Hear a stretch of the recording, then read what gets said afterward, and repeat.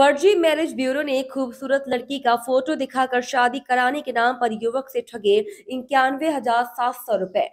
उत्तर प्रदेश के एक फर्जी मैरिज ब्यूरो ने सुंदर लड़की का फ़ोटो दिखाकर शादी कराने के नाम पर शिवपुरी ज़िले के एक युवक को ठगी का शिकार बना लिया।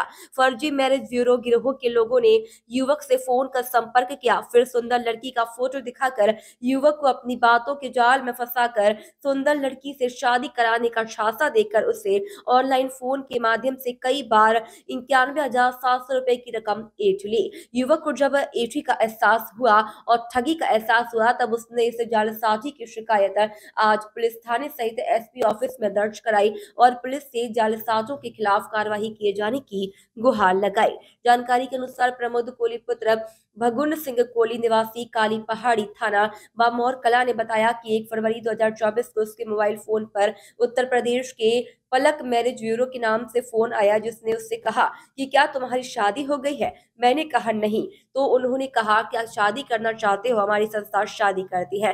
मैंने कहा हाँ शादी करना चाहता हूँ। जिस पर उन्होंने एक सुंदर सी लड़की का फ़ोटो मुझे भेजा और रजिस्ट्रेशन के नाम पर पहले पंद्रह सौ लड़की से बात कराने के बाद तेरह दिन में धीरे धीरे करके इक्यावन हज़ार सात सौ फ़ोन के माध्यम से ऐड लिए इसके बाद मैंने शादी कराने के लिए कहा तो पैसों की मांग की जाने लगी। तब मुझे ठगी का एहसास हुआ।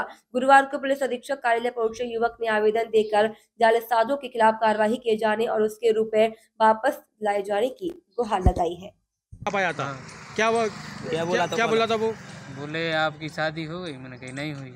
कही आप हमारी संस्था से करोगे मैरिज ब्यूरो से? हम्म। मैंने कही हाँ कर लेंगे। फिर? तो बोले कहीं पंद्रह सौ रुपये रजिस्ट्रेशन की लगेंगे खाली। हम्म। तो फिर उस समय तो पंद्रह सौ डलवा के फिर शाम को कॉल आया कहीं तेरह सौ डालो। हम्म, कहीं आपका रजिस्ट्रेशन होगा। फिर इसके बाद में आधार कार्ड मांगा। आधार कार्ड मांगने के बाद फिर बोले कहीं बाईस सौ रुपये और डालो कहीं आपकी फ़ाइल बनेगी कोर्ट से। फिर ऐसा ही करके कहीं स्टाम्प लगेगा पैंसठ सौ डालो।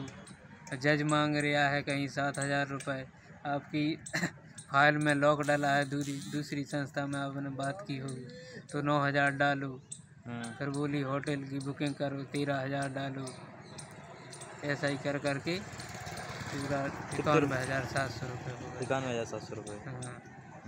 तो आपने जो पैसे उनको दिए हैं हाँ। तो उनके पास से क्या कुछ आपके पास लिखित में कुछ आया था? खाली एक रसीद आई थी लाल क्या क्या आई थी? क्या लगा था उसमें? उसमें लिखा है Palak marriage marriage bureau Palak dream marriage bureau. हाँ तो आ, उसमें संचालक का नाम था? संचालक का नाम नहीं है। उसमें पैसे कुछ लिखे थे? हाँ पंद्रह सौ रुपये लिखे हैं। हाँ तो फिर उसके बाद क्या किया आपने? थाने में रिपोर्ट लिखाई? थाने में रिपोर्ट हमने दो जन दो फरवरी से कार्यवाही चालू की है। लड़की का फ़ोटो वगैरह आया था आपके पास? हाँ। हाँ लड़की का फ़ोटो आया था। हाँ। तो फिर आपने ये नहीं कहा कि हमारी शादी करवाओ? तो बोली और पैसे दो जब हम शादी कराएँ कितने मांग रहे थे और? पैंसठ सौ रुपये और मांग रहे थे? हाँ। पैंसठ सौ के पैंसठ हज़ार? पैंसठ सौ। अच्छा फिर दिए आपने? नाइन दिए हमने। तो कौन थे वो? कहाँ से आया था कॉल? आपने पता पूछा था उनसे हाँ बोले कहीं हम पलक मैरिज नहीं नहीं कौन सी जगह से? कानपुर से बोले कानपुर से। हाँ। तो आपने ये शादी के लिए कुछ बोला पर उनसे संपर्क किया दोबारा क्या हमारी शादी करवा दो क्या हमें कुछ? तो बोले और पैसा दो जब कराएँगे शादी। और मैंने बोला कि पैसा वापस दे दो मेरा। तो बोले कहीं आपके तो वो उसमें लगे हैं काम में हम क्यों दे दें? कब आया था कॉल आपके पास?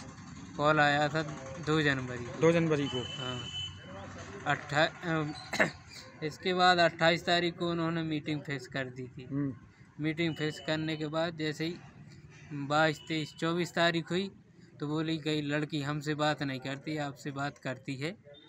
इसीलिए हम उसके नंबर पे ब्लॉक कर रहे हैं नंबर ब्लॉक।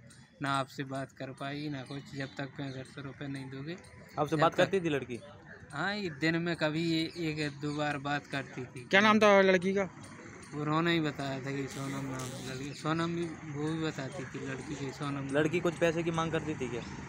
उसने पैसे की मांग नहीं की थी वो बोली कि मेरा मोबाइल ख़राब है मोबाइल के लिए पैसे मैंने कही ऐसे नहीं आगे मोबाइल के लिए। तो फिर आपने मिलना चाहा उससे लड़की से मिले थे? हाँ मिले? मैंने कही मैं आ रहा हूँ मिलने वहीं ले लेना फ़ोन फिर?